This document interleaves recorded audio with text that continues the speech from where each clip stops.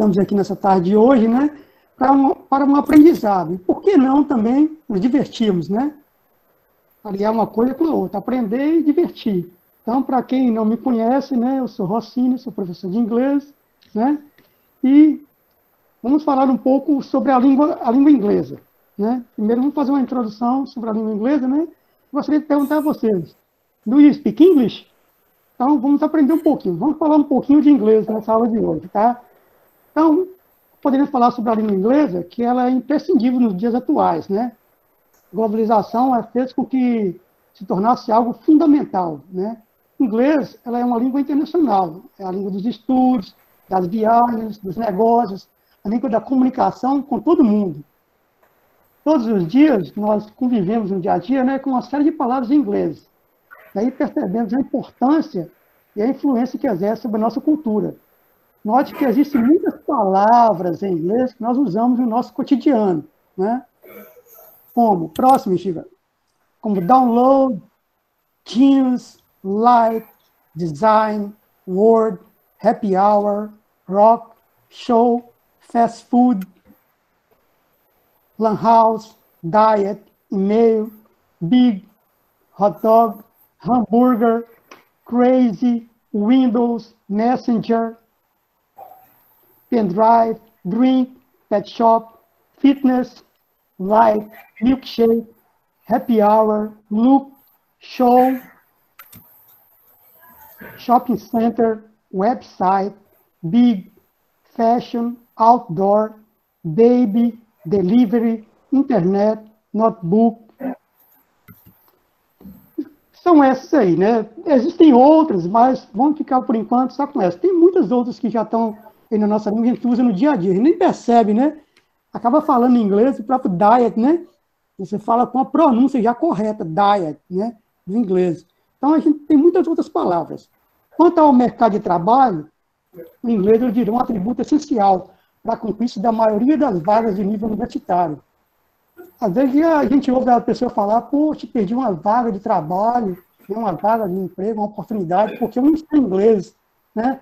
Pois é, mesmo que o candidato ele não vá utilizar o inglês, ou vá utilizar muito pouco em seu novo emprego, somente o fato de saber inglês já é, já é um diferencial em seu currículo. As pesquisas salariais, elas revelam né, que o salário de uma pessoa que tem um segundo idioma é de 30% a mais em relação ao salário de outra que tem apenas um idioma. Né? Apesar de haver assim, muitos profissionais com inglês no currículo, a maioria se, se enquadra no nível básico para intermediário.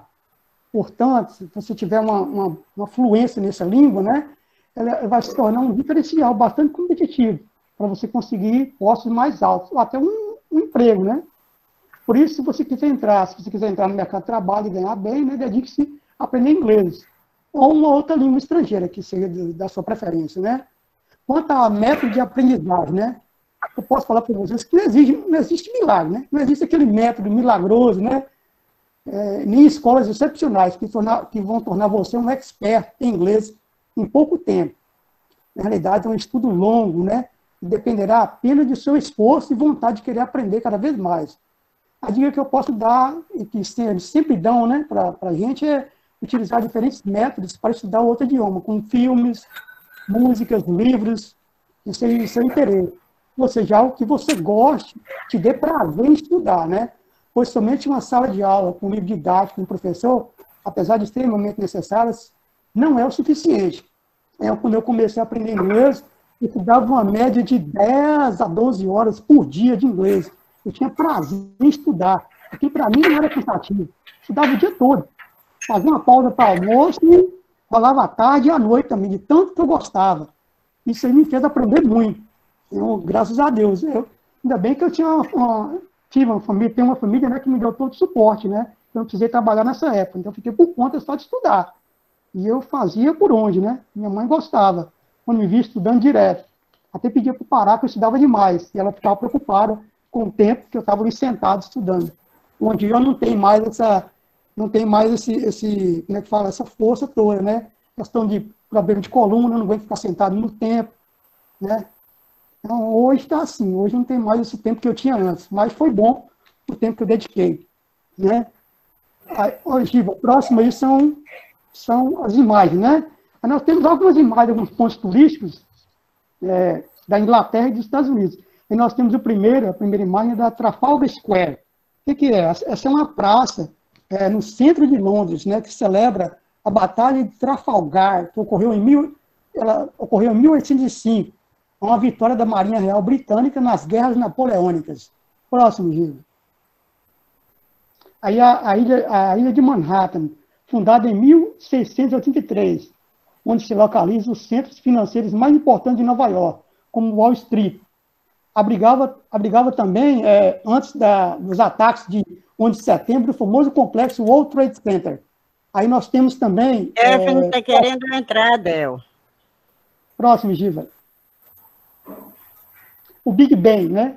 Big, o Big Ben, Big Ben é um sino, é um sino que foi instalado no Palácio de Westminster, em 1859. Próximo, Giva. Palácio de Buckingham, né? É um, é, é esse palácio é no estilo Belle Époque, em francês, Belle Époque, localizado na cidade de Westminster, construído em 1063 para, para John Sheffield, primeiro duque de Buckingham. Próximo, Gil. Aí nós temos as cabines telefônicas, né? um dos ícones é, da cidade de Londres, é conhecido em todo mundo. Todos os turistas querem tirar uma foto ao lado dessas cabines, né? É um ponto turístico muito visitado. A Tower, Tower Bridge. Tower, a Tower Bridge, a torre, a torre, é, a ponte da torre, né? É, construída em 1886, sobre o rio Tâmisa, na cidade de Londres. Foi inaugurada em 1894. Atualmente é um dos pontos turísticos mais visitados da cidade. Próximo. Aí é um, é um museu, museu de arte em Milwaukee, né? aí já é nos Estados Unidos, esse museu. Próximo. London Eye. London Eye, também conhecido como Millennium Wheel, roda do milênio. É uma roda gigante de observação, situada na cidade de Londres. Próximo. Próximo, Giva. Aqui? Aqui? Ah, o Castelo de Windsor. O Castelo de Windsor. É a residência real, né? Residência real e ponto turístico de estilo vitoriano, localizado na cidade de Windsor, em Berkshire. Foi usado como refúgio da família real durante os bombardeios da Segunda Guerra Mundial. Isso sobreviveu também a um incêndio que ocorreu em 1992. Também a, a, a rainha da Inglaterra costuma passar suas férias, costuma visitar, uhum. visitar muito esse castelo. Muito bonito esse castelo. Próximo, Gil.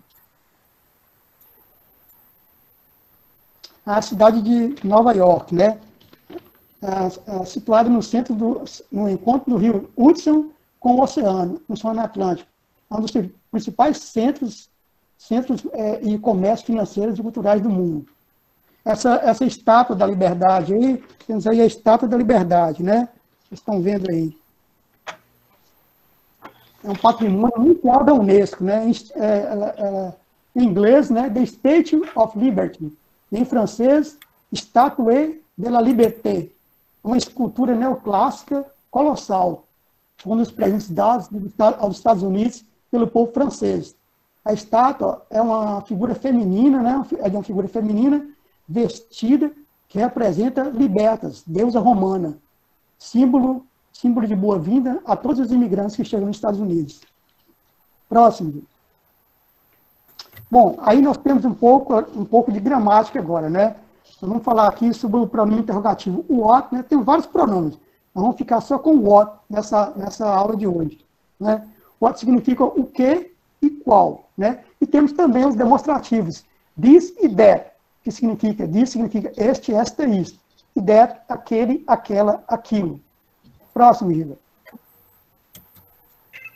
É, como eu disse, what significa o que ou qual. Mas você vai saber quando, você, quando vai ser o que e quando vai ser qual pelo contexto. Por exemplo, na frase, what's this? O que é isso? Ou what's that? Ou what's, what's your name? Qual é o seu nome, né? Também pode ser what's that. Próximo, Gila pode ser what's that também, né? O que é aquilo. E também esse what's também é, é, na realidade, por essência, é what is, né? Mas na, na, linguagem falada, na conversação, eles usam mais what, abreviado. Soa mais, é mais rápido, né? Fica o inglês mais rápido, mais fluente, tá? Então, what. Próximo, Giva. Aí tem, nós temos as duas perguntas, né? What's this? O que é isto? E what's that? O que é, é aquilo? Nós temos duas respostas para essa pergunta aí, né? Se eu perguntar, então, what's this? Você pode responder, it's a book. It's a book. Ou, se eu perguntar, what's that? Você não souber, você vai responder, I don't know. Próximo, Gila. É, esse it's, que está aí no, no, início, it's mais o A, né? It's a book, it mais A, é uma junção aí, isso vai ter uma pronúncia itza, itza, tá?